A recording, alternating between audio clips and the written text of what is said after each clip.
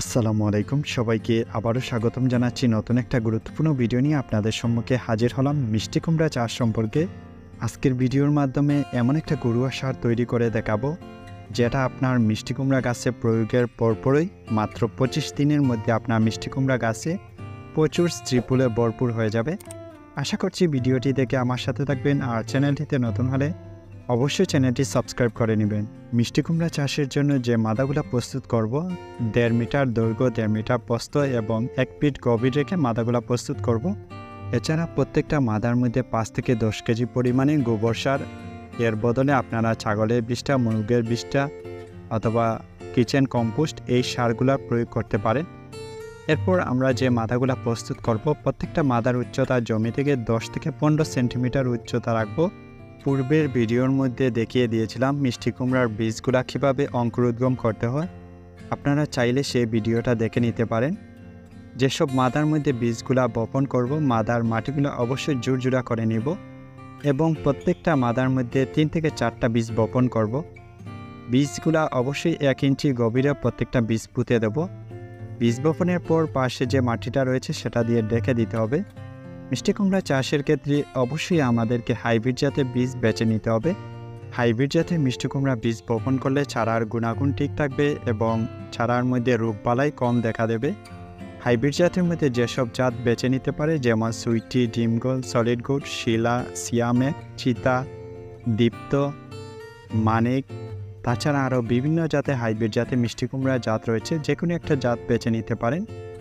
উর্বর দোয়াশ এবং বেলে দোয়াশ মাটি মিষ্টি কুমড়া চাষের জন্য উপযোগী চার থেকে পাঁচ মিটার দূর দূর মাদাগুলা প্রস্তুত করব।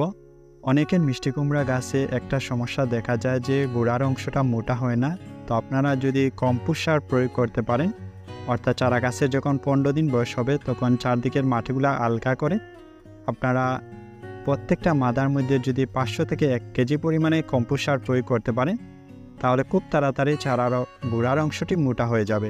তো বন্ধুরা, এখন আমি মিষ্টি কুমড়া গাছে একটা গরুয়া সার তৈরি করব। তার জন্য শুরুতে যে উপাদানটা নিচ্ছি সেটা হচ্ছে কলার কুষা আমরা বাড়িতে অনেকেই কলা খাওয়ার পর কলার খোসাগুলো ফেলে দেই। এই কলার খোসার মধ্যে রয়েছে প্রচুর পরিমাণে পটাশিয়াম, ক্যালসিয়াম, ফসফরাস ম্যাগনেশিয়াম যা কলার খোসাযুক্ত পানি যদি আমরা মিষ্টি কুমড়া গাছের মধ্যে প্রয়োগ করি, গাছটাকে দ্রুত বৃদ্ধি করাতে সাহায্য করবে। এরপরে যে উপাদানটা নিচ্ছি সেটা হচ্ছে চা পাতি বাড়িতে অনেকেই আমরা চা পাতি ব্যবহারের পর সেগুলা ফেলে দিই। আপনারা টি ব্যাগ দুইটি অথবা দুই চামচ চা পাতি যে কোনো একটা পাত্রের মধ্যে একদিন ভিজিয়ে রাখবেন। এছাড়া এই সারটা তৈরি করতে আপনারা গড়ে ফেলে দেওয়া পেঁয়াজের খোসা যে কোনো পাত্রের মধ্যে একদিন ভিজিয়ে রাখবেন। এছাড়া এই সারটা তৈরি করতে অন্যান্য যেসব উপাদান নিচ্ছি, সেটা হচ্ছে সরিষার খোল। সরিষার তেল উৎপাদনের পর যে অবশিষ্ট অংশগুলো থাকে, সেগুলো থেকে এই খৈল সার তৈরি করা হয়। বাজারে আপনারা পঞ্চাশ থেকে ষাট টাকা ধরে এই সারটা কিনতে পেয়ে যাবেন। যে কোনো একটা পাত্রের মধ্যে আপনারা এক সপ্তাহ ভিজিয়ে রাখবেন। দুই থেকে তিন দিন পর দেখতে পারবেন, খৈল সারের উপরের মধ্যে এরকম লেয়ার তৈরি করবে। দুই, তিন দিন পর পর আপনারা এই সারটাকে নাড়িয়ে দেবেন। এতে করে এই সারটা দ্রুত তৈরি হয়ে যাবে। এই সরিষার খোল সার আপনারা যে কোনো ধরনের সবজি গাছে প্রয়োগ করতে পারেন। এটা কখনো আপনারা সরাসরি চারা গাছে গুঁড়ায় প্রয়োগ করবেন না।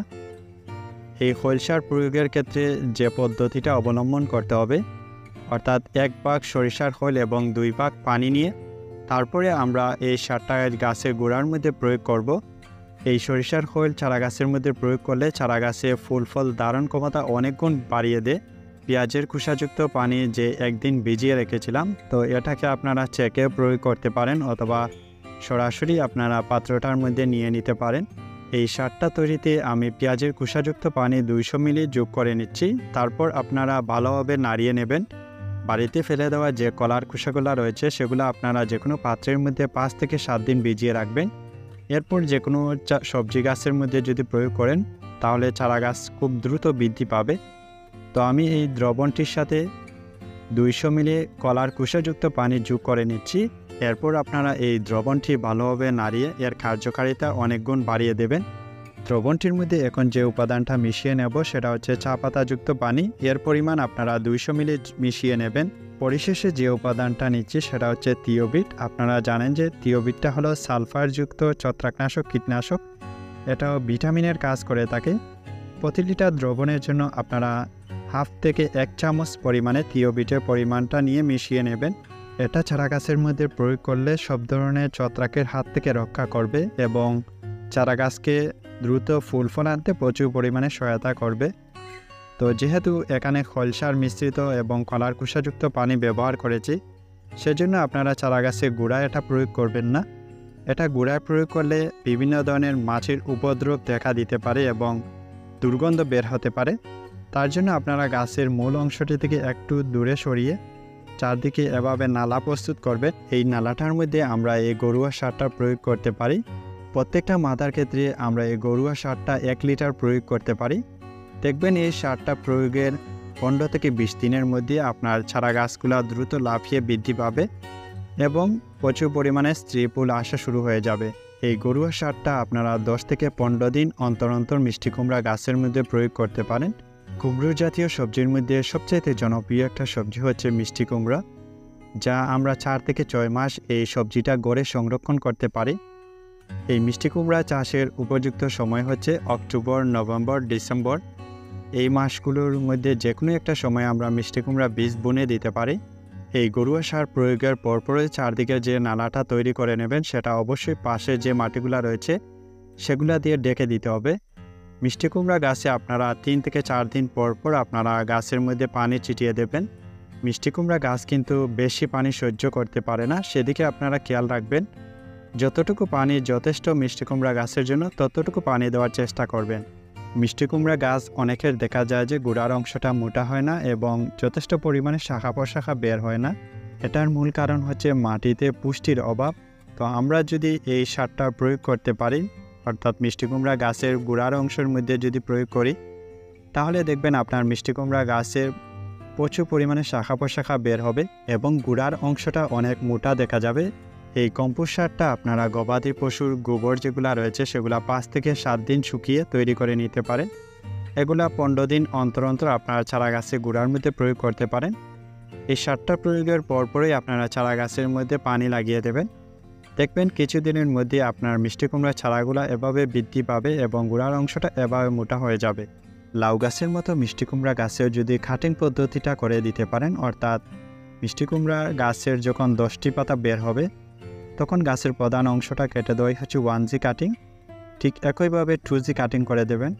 তারপর পরেই দেখতে পারবেন যে আপনার মিষ্টি কুমড়া গাছে এরকম স্ত্রী পুলে ভরপুর হয়ে যাবে। সো অবশ্যই এই কাজটা আপনারা করে দেবেন।